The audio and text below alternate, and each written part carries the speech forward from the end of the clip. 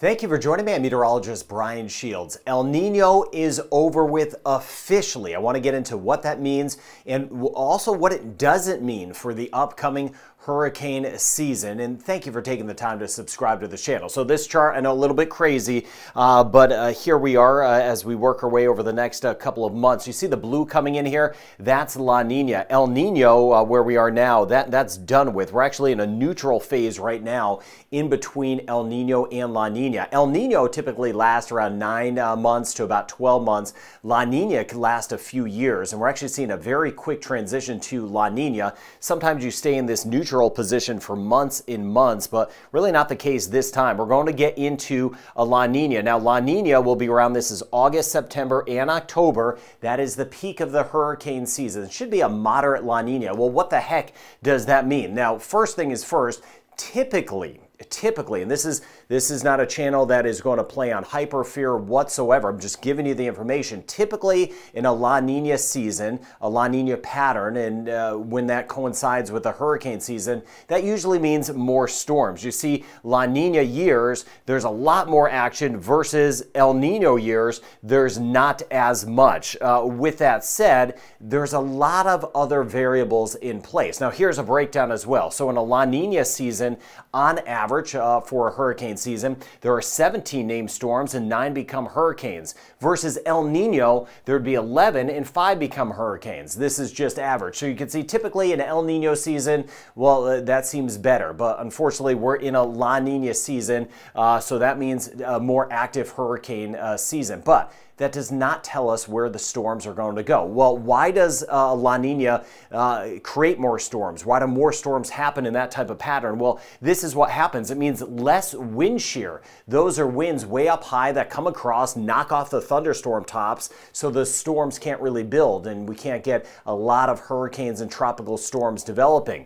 With uh, a less wind shear out there, though, for this upcoming hurricane season, that would mean typically more hurricanes. And I do believe we are going to get deep down the list. There will be a lot of tropical storms, there will be a lot of hurricanes, and I know a lot of folks are talking about that but that does not mean we are necessarily going to get hit with one. Uh, it's a wait and see. We need to see how these storms develop in the current pattern at the time. Sometimes there are La Nina seasons, a lot of storms, but they all kind of stay out to sea. Other times uh, you could have an El Nino season. There's only a couple storms, but you get hit. So it's all relative. Uh, with that said, there are also more variables than just La Nina. Very curious to see how the Saharan dust uh, kind of works into the equation pockets of dry air as we get into the season. So yes, do believe there'll be a lot of action and I'll be tracking it storm by storm, but it's still a wait and see on what may come our way. So I'll do the worrying kind of behind the scenes and I'll let you know everything that I'm seeing. Now, still watching a few spots here, one over here, this spot over here that may develop. I want to get into that and still watching these tropical waves. But like I was showing you yesterday, these big tropical waves are coming off. Kind of unusual for this time of year to see how big they have been. Here's another one coming off the coast of Africa. However, However, with that said, kind of like I was just talking about, there is a lot of dry air out here. So as these work across, they kind of get eaten away. There's a lot of dust. We're going to see more dust moving in the next few days into parts of the Eastern Caribbean. Now, you see this tropical wave here approaching South America. This one is going to increase our chance of rain in the Southeastern Caribbean uh, for later into the weekend and early next week. So I'll, I'll be watching that. We're going to be tracking that together through the weekend. Now, let me start with the big picture. Here's this area area up here that left Florida, but it's the tail end of it. Still, this big plume of moisture around still bringing some rain to parts of South Florida, even uh, for today. Slight chance it develops, not looking like uh, the case for the most part. So that one's starting to get out of the picture, but still watching out for this moisture everything on track from our last few videos. Look what happens here. This is by Sunday moisture starts to build. A couple things are happening here on this map. This is the European model, and you see the moisture building here from the Western Caribbean into the Gulf, and on top of it, I mentioned that next tropical wave sliding into the southeastern Caribbean by the time we get into Sunday and Monday, which will increase the chance of rain, although it's going to have to fight through some dust. So this is Sunday. Now let me take you out in time further, and then we'll stop it here as we get into, this would be Monday. Uh, by the time we hit Monday, start to get a broad circulation right here. I want to show you what all the computer models are go going to do in a second, or trying to do, but a broad circulation through here. Now I don't just look at the computer models. It's a lot of land around here, so for something to kind of develop in the Bay of Campeche. It does have to kind of sneak in there, and that circulation needs to stay over water long enough for it to develop. But either way, this here is by Tuesday. It looks like there's going to be some circulation, either a weak storm system or a classified uh, tropical depression or tropical storm in the western Gulf of Mexico. You see it here. This is by Monday into Tuesday. Now, Good news and bad news is uh, we need to get some rain in spots. It looks like we're going to get some rain in parts of Texas. Some parts of Texas need it desperately, others not so much. And then you get back toward Mexico where we desperately do need to get some of the rain. So, uh, but the on the flip side, some of us uh, will get some rain that we've already had some flooding in parts of uh, Texas, and it, we may get it too quickly. So while this could be some good news in Mexico, we got to get some of the rain. We need, we we definitely need to get that. Could come a little bit too quickly, but either way, it looks like tropical depression or tropical storm or just kind of a sloppy system will start to work in on Wednesday to parts of Texas and Mexico. Even some rain could get into uh, Louisiana. So looks like something is going to try to develop. Now, will it actually develop? We'll see. The European model does have this as a, a low-end tropical storm or tropical depression. The American model kind of going back and forth. Same thing. No big changes. Right now, it doesn't have it as a tropical storm. We'll see how the uh, latest runs of that do. Canadian model has it a tropical storm. Uh, uh the Icon, the German model, doesn't have it forming into a storm. But all of these models, regardless, are seeing a broad circulation uh, through here as we work our way into early next week. Has my attention. In this time of year, uh, with these water temperatures, things can kind of spin up quickly. So uh, the strength of these things always a variable. That's another variable as we go through the upcoming season. So here's the American model showing that there's the buildup of moisture there. This is by the time we get into Sunday, right? So you see here that moisture over toward Belize, Honduras, uh, Nicaragua, Guatemala, El Salvador, seeing a lot of rain down through Costa Rica. Not much for Panama. And there's some of the rain there trying to creep into the southeastern Caribbean. But right here, this is by Monday, showing the rain kind of a sloppy system uh, working its way into the western Gulf and the Bay of Campeche. Some of the rain lifting up toward Louisiana, Texas. And there may be a little bit of a spin right in here. So we'll see if that tropical storm does try to form. And the first name on the list this year is Alberto. That is the first name in the Atlantic Basin, the Atlantic Ocean,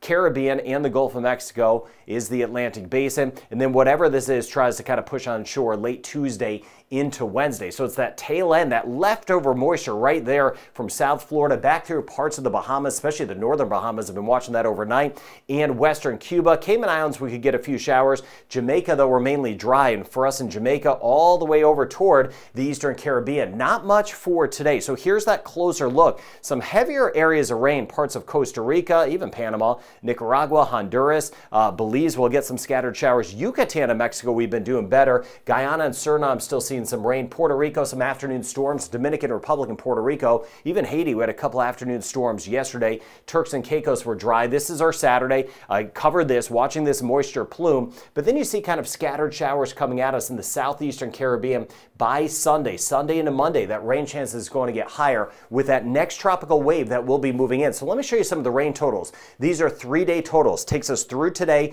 through our Saturday into Sunday. So this is not all at once, but South Florida over towards, say, Freeport, down toward New Providence, uh, we are going to see an additional 75 millimeters of rain or three inches of rain plus in some spots, tacking on to some of the uh, flooding issues we've had. And as we work our way toward western Cuba, we could get some spots that get around 150 millimeters of rain or six inches of additional rain. Uh, Cayman Islands, Jamaica, not as much for us. Here are the Cayman Islands. Here we are in Jamaica. Uh, just a passing shower. There'll be a couple. We've had some isolated storms the last few days. Uh, Turks and Caicos generally dry. Eastern Cuba, Haiti, Dominican Republic, Puerto Rico. This would be isolated stuff. So if you get a thunderstorm or some passing showers, uh, British and U.S. Virgin Islands back through uh, Puerto Rico, uh, we could get a quick 25 millimeters of rain or an inch of rain. Montserrat, Saba, Statia, we need some of the rain. Uh, not a ton, but uh, Anguilla, St. Bart's, Antigua, and Barbuda, slightly better chance the next few days. I'll cover that in a moment. And then you see some spotty showers, Martinique, St. Lucia, St. Vincent the Grenadines, Grenada. Not a ton. The best chance, though, would start to creep in on Sunday So Trinidad and Tobago, we may get a few spots that get 50 millimeters of rain or two inches of rain uh, Sunday into Monday. It's that moisture with that next tropical wave headed our way. Guyana and Suriname, isolated areas of flooding. There's uh, Mexico as a whole, uh, generally on the dry side. We are starting though in South Mexico and then of course back through the Yucatan, a better chance of some rain. So that is some good news to pass along. Thank you for sharing this channel across Mexico. And then we'll see what happens as we get into next week from my friends in Texas and and back toward uh, Mexico with the potential of a developing uh, system. But watching out for some downpours, could get scattered showers, uh, could get upwards of 50 millimeters plus of rain in parts of Belize. There's the moisture plume. There's a little flare up in this. This is that system that came out of Florida. Uh, it is over the Gulf Stream, that warm water, so it is flaring up, but no big signs of organization with that. No signs of organization as we work our way into the Eastern Pacific. Look how this is tied together all the way from the Atlantic region of Canada all the way down through the Caribbean and Central Central America. As we work our way toward parts of the mid-Atlantic in the United States today, there'll be some stronger, if not severe storms. That'll be possible. And then across the uh, northern parts of the uh, U.S. as we work our way into the uh, weekend. But that moisture plume, it's crazy how, the, how big this is uh, just still around as we work our way into Saturday. And then we'll see some additional rain headed toward Bermuda. So this is our Saturday afternoon. And then as we work our way into Sunday, we'll watch some of that moisture getting closer to the Caribbean. But it does need to fight through some of that dust that I was mentioning. Mentioning, there is some dust around. So we've had some spotty showers around in parts of New England and up through the Atlantic region of Canada. But at times, we're going to see the increasing, uh, the rain increase even further through the weekend, especially as we wait, uh, make our way into tomorrow on the edge of uh, Nova Scotia and then swinging back toward uh, Newfoundland, especially later in the day tomorrow. The rain chance will get higher. Let me know what you get or what you don't get. So seeing a surge of moisture kind of coming in here as we work our way into late Saturday, Saturday night, and then we'll see some spotty showers back behind this in Quebec, getting closer to New Brunswick as we work our way into uh, Sunday into Monday. So Jamaica, we're looking at isolated showers and storms. Cayman Islands as well, most of the heavier rain just to the north, back through uh, Cuba. But look at us in Trinidad and Tobago, rain chance higher on Sunday and even Monday, upwards of a 60% chance. And creeping up in Barbados, we could see some uh, scattered showers on Sunday, mainly dry in St. Lucia the next couple days. Sunday, though, we are up to a 40% chance. Same thing in Grenada. Uh, this isn't going to be a washout, but the rain chance will be bumping up. We need some rain in St. Vincent and the Grenadines. Rain chance Sunday at 40%, 40% chance Sunday in Martinique. Next couple days, isolated showers possible in Dominica, 20 to 30% chance in Guadeloupe, and about a 20 to 30% chance chance Antigua and Barbuda. So at least we have a shot this weekend of a few showers around, generally isolated. St. Kitts, Nevis, and Montserrat, 20 to 30% chance. And Anguilla St. Bart's, 30% chance uh, today through the weekend. St. Martin, Saba, and Statia, fingers crossed, we get a few showers around Puerto Rico. This is generally afternoon and evening storms, 40 to 50% chance. And you see the rain chance going up a little higher, U.S. and British Virgin Islands as we go through the weekend. Bahamas covering us. Uh, northern sections, we're going to see that higher chance of rain still throughout the day and even lingering uh, tomorrow. But you get to the south, southern Bahamas, into the Turks and Caicos. On the drier side, isolated storms possible today. We'll see some in the Dominican Republic. A one or two could pop up in Haiti. We had one pop up yesterday. 40 to 50% chance the next few days in Belize. Let me know your location in Belize and what you're getting or not getting. I'm keeping track of that since we're coming off of those drought conditions. Aruba, Curacao, and Bonaire. The issue is as these tropical waves come at us, they're fighting that dry air and uh, some of that dust, and they, they generally fizzle out. Scattered to widespread rain, though, in parts of Guyana and Suriname. Let me know how you're doing with the uh, flooding. And then you see here in Cuba, this is our western end, the better chance of rain today.